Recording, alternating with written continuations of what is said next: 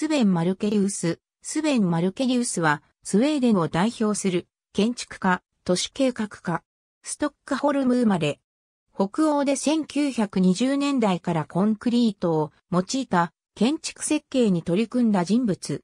また、機能主義建築、コレクティブハウスの開拓者としても知られる。ストックホルムで1910年から1915年まで、ロイヤル工科大学アートスクールで学ぶ。ラグナルオームなどの建築設計事務所を経て、独立。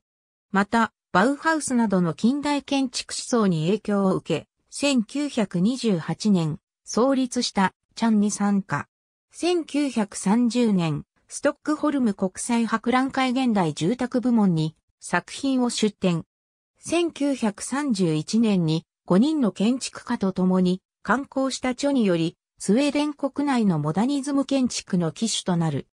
1935年には、スウェーデンの社会改革家アルバライマル・ミュルダールに出会い、彼の支援を得て、実際にストックホルムのコレクティブハウスを設けている。出来上がったコレクティブハウスは保育施設、共有炊事場や集会場を設置し、入居者が共同で生活を共にし、また家事労働を集約するという新たなライフスタイルのあり方を提示することになる。こうした住環境の整備をこの後30年間提供することに努め、近代主義思想に裏打ちされた利益社会ゲゼルシャフト思考の建築や都市計画を提唱していく。1944年から1954年、ストックホルム市都市計画部長。市の都市計画責任者として、同市の伝統的市街区及び建築物排除を断行して新たなグリッド街区を形成し、自動車交通に対応した都市に改造する。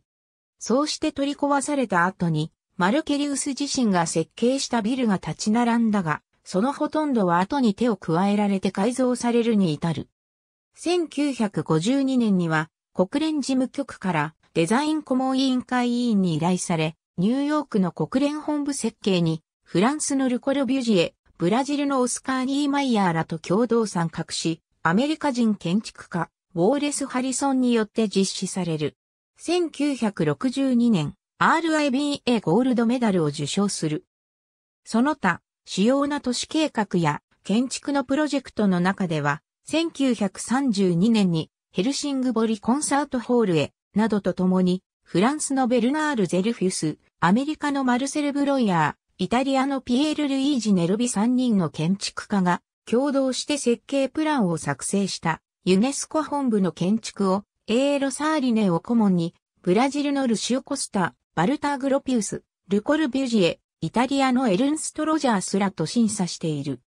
さらに、国連本部の経済社会理事会会議室を自らの提唱によってスウェーデン国から寄贈させ、その設備材にスウェーデン産末材を活用している。ありがとうございます。